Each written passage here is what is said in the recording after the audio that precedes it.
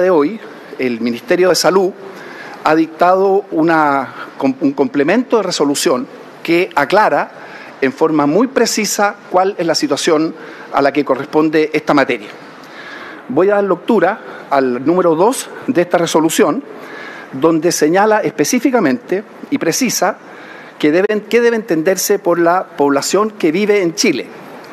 Y se dice que es aquella que tiene la nacionalidad chilena, permanencia definitiva, visa de residente, visa de estudiante o visa sujeta a contrato, o quienes cuenten con una, con una visa de turista.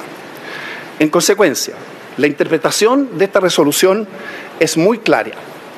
No van a tener derecho a vacunarse en Chile los extranjeros que estén en el país con una visa de turista.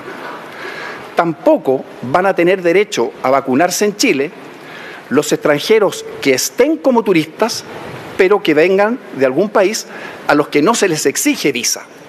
Y en tercer lugar, tampoco van a poder vacunarse los extranjeros que se encuentren en el país en una situación irregular, pero que no hayan iniciado los trámites de solicitud de una visa temporal o una visa definitiva.